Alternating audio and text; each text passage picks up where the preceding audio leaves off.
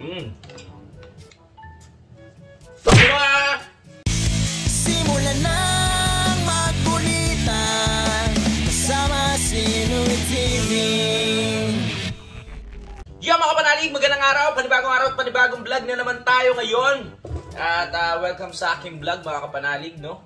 At ngayon, ang oras natin ay ah, 6.30 na ng gabi. At meron dumaan dito na mambabalot, no? Ah, mambabalot mga kapanalig. Ah, nagtitinda ng balot, baka iba isipin nyo. So bumili ako ng 5 pieces na balot mga kapanalig at tayo yung magmumukbang ngayon. Kasi natakam ako kanina mga kapanalig, no? At ayan, Nung nakaraan, nagmukbang ako ng uh, lobster mga kapanalig at kinaya ko naman. Ngayon, magmumukbang tayo ng balot. Pero 5 pieces lang mga kapanalig kasi baka bigla tayong mangisay dito. Kaya dahil natakam ko, yan, kain muna tayo mga kapanalig. Ang tagal ko nang hindi nakakain na itong ah, ah, balot na to. Kaya, uh, kita nyo pa lang yung sabaw mga kapanalig. Ito yung pinaka-the best talaga yung part ng sabaw. Oh my gosh. Tapos lalagyan siya natin ng asin. Oh, shit. Tapos isipsipin natin yung natirang sabaw. Mmm! Tapos lagyan suka. Mmm! Ay, ang sarap ng suka ni ate. Kasi ang nagdadala sa balot mga panalig yung tawag dito, suka. Pag hindi masarap yung suka, nako. Mmm! Hindi masasarap yung kain mo. The best ang balot. Meron kasing suka ng balot mga panalid na parang tubig na lang. Oh. Ewan ko kung may nakaka-relate dito. Yung suka hinahaluan ng tubig para dumami. Kaya yung lasa ng suka niya, parang tubig na lang nawawala yung pinakasarap ng pinaksuka. Uy! Sarap mga panalid. Ganda. Mmm! Mmm! The best. Paborito talaga itong balot. Ito yung paboritong balot na hindi ko gano'ng kinakain. Kasi delikado baka ma-high blood tayo. Mm. Mm. Yung tatawag na baton na part, no? Ang ganda ng balot ni ate. Nabilang ko kasi walang sisiw. Malambot pa. Kasi yung ibang mga kapalarid, pag bumili ng balot, pag bukas, mukhang Pokemon na yung nasa loob. May ano na, may pakbak na tsaka meron ng uso. Mm. Ang fairness, ma masarap yung ano ni ate, yung suka mga palay. Mm. Mm. Tapos gagawin natin. Mm. Nakisa na tayo mga palay, no? Mm. Ito yung pangalawang balot natin mga kapanalig. Ito tinatawag na balot mukbang. Mmm! Sabaw! Tumataban! Mmm! Mainit. Uh! Mainit siya mga kapanalig. Maganda lahat ng balot ni ate mga kasi maliliit pa yung pinakasisiw niya. Dahil wala tayong kutsara, ito na nagagawin natin kutsara at sobrang init pa. Mukhang pagdaan dito ni ate, bagong ano pa lang to. Bagong uh, uh, tawag ito, bagong alis pa lang sa kalan. Ow! Mm. Mm. Sabi nila, bakit daw may sabaw yung balot, no? Ang tapos sabi naman ng iba, ihi daw yun nung ihi daw yun ng ano, tawag dito ng sisiw sa loob. My God, pero ang sarap niya. Pero ito, medyo meron na siyang ano, sisiw mga kapalig. Maliit nga lang. But napaka-the na itong part na, ito yung kulay dilaw na yun. Hindi ko alam kung anong, kung ang tawag dito. Pero napakasarap talaga na ito. Hmm? Mm. Heaven talaga.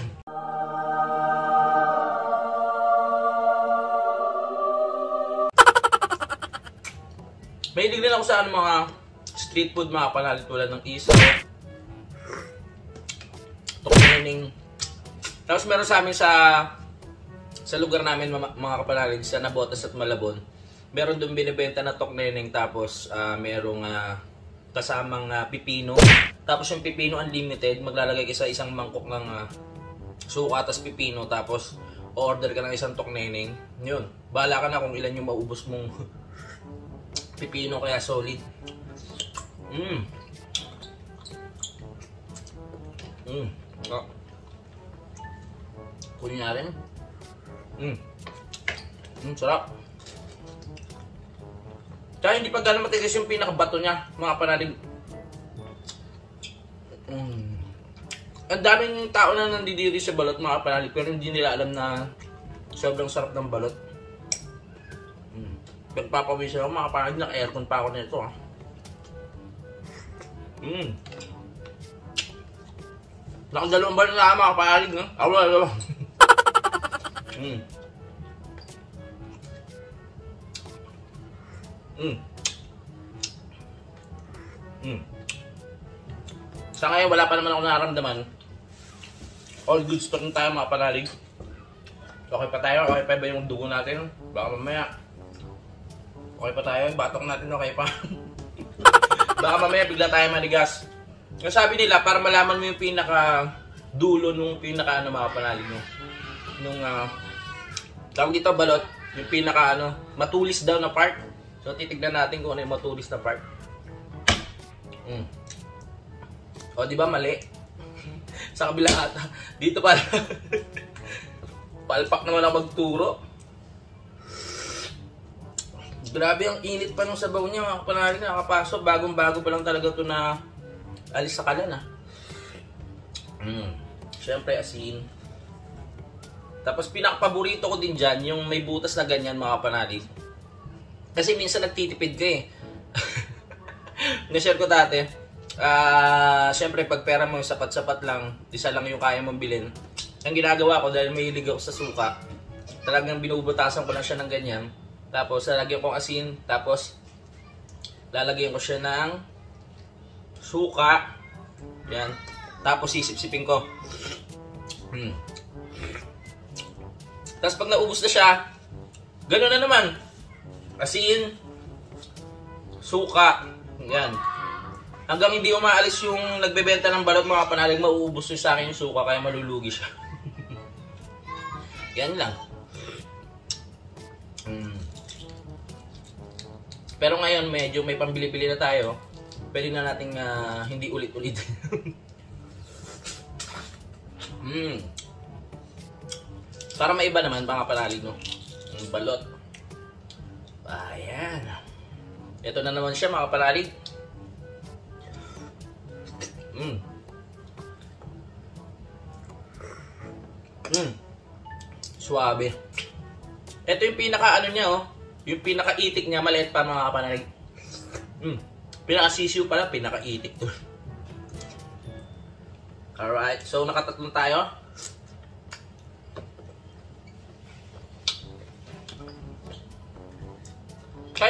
Ubusin dati na ito mga pito, mga panalig. Kaso lang, talaga yung pakiramdam mo, parang medyo mahihilo ka na. Kasi malakas baka ano to, high blood. Mm. Sensya na kayo, hindi na ako nakakuha ng kutsara kasi nung binili ko to, excited akong i-vlog mga panalig kasi sabi ko, sobrang sarap ah. Mm. Tumutulo na yung pawis ko. Mm, ganyan talaga. Sabi ko nga, pag pinagpapawisan ako, ibig sabihin masarap mga panalig. Mm. Mm, sarap. Mm. Mm. Kaya pinapadamihan ko talaga yung suwa mga panalig sa mga tindera. Ah! Ah! Ah! Ang init. Pag bumibili ako ng balot, kasi ito talaga yung nagdadala sa...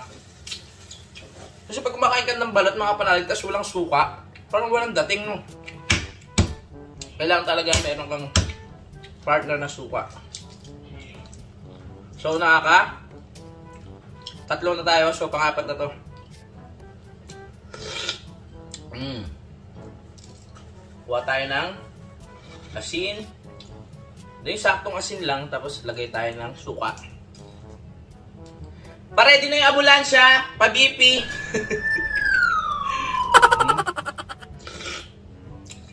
mm. Sabi nga nila, hanggat bata kakainin mo yung gusto mong kainin. Kasi pag nagkaedad ka na, diyan kailangan mo nang ah, mag-control ng pagkain kasi diyan na-atake yung high blood, yung diabetes, at kung ano-ano pa.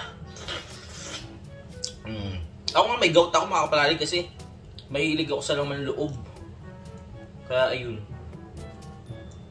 May gout ako sa paa. Mm.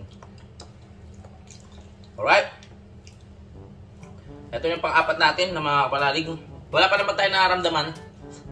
Oh my goodness! Naputol yung ating video kaya... Eh, ang init. Dali lang. Itutuloy natin. Ah, pang-apat na to mga kapalalig, no? At ito na yung ano na kinakain ko, yung balot. Mm. Pang-apat. Mm. Bila na po ito eh. Na full ano? Storage. Mm. Masarap taga kumain. Mm. Mm. Next. Ito din panlima mga panalig. Mm.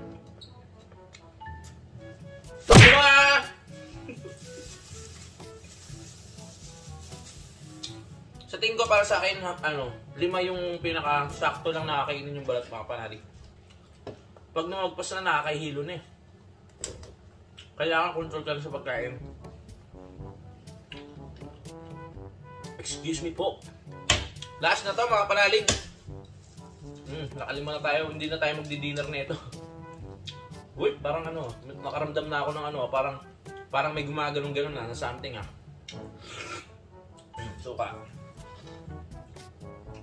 Asin, dating gawe. Sili, ah, sili. Suka. Ooh. Oh. Oh. Oh. Mm, sarap. Wala nang tatalo sa balot. Mm. Tama palali ah, ang ating last na balot. Dapat talaga kanina tatambay lang ako sa dagat mga panalig, bigla akong nakasalubong si ate na nagtitinda ng balot at bigla akong naisip na wow, teka, natatakam ako ah. Sa ako hindi pa naman ako makain kaya sabi ko bibili ako.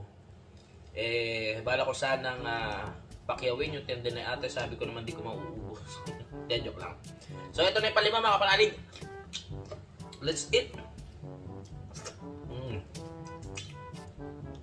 Ang sarap ah.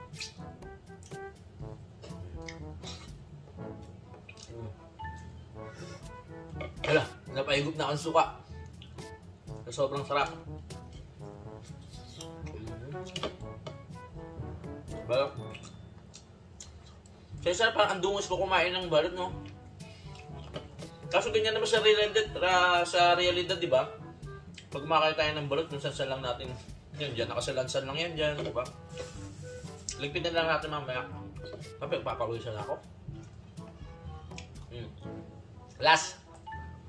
Mm. Ang suka. Bus na rin. Mm. Mm.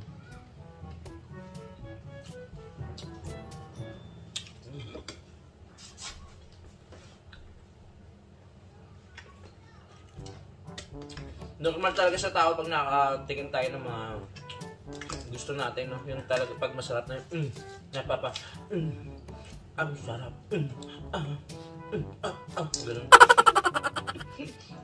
Alam! So, tapos na tayo mga panalig. Mm. Maraming maraming salamat sa pagsubaybay at wala naman akong naramdaman masama ngayon. Feeling ko kaya ko pa ng mga lima pero siyempre kailangan natin mag-ingat. Lahat ng sobra ay masama. Kaya control-control tayo sa pagkain. Thank you sa pagsubaybay at alam ko eh natakam kayo mga kapanalig sa vlog natin ngayon. Uh, tintayin nyo lang yung uh, iba ko pang vlog mga kapanalig. No? More adventure lang naman tayo. Sinisingit-singit ko lang itong mga mukbang-mukbang mga kapanalig. No? Para naman maiba. ba? Para naman may iba kayo mapanood sa akin. No? At hintayin nyo lang mga catch and cook ko mga panalig. Ah. Marami pa akong plano. Ah, ayan, naghahanap lang ako ng mga kasama para magawa ko yung mga kailangan gawin.